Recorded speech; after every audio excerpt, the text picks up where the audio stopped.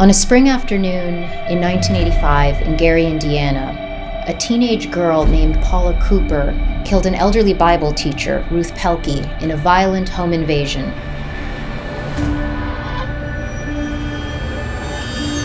The Lake County prosecutor decided to pursue the death penalty for Paula, even though she was 15 years old. We have bred a segment of our young people who are capable of committing the most heinous and most terrible crimes. When Paula was sentenced to death, very few people in the county spoke out against the impending execution of a 10th grader.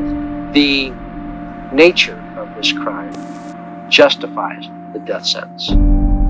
But the tide began to shift when the victim's grandson, Bill, forgave her against the wishes of his family and friends and congregation and campaigned to spare her life. What the death penalty does is all it does is create more victims. He decided to reach out to Paula, and a truly surreal friendship began. Jesus said, forgive 70 times 7. And I knew that forgiveness was the right thing.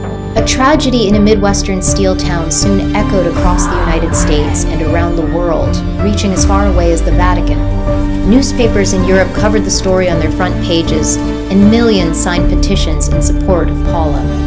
At the same time, a powerful collective was forming in this country with a single goal to end the death penalty for teenagers.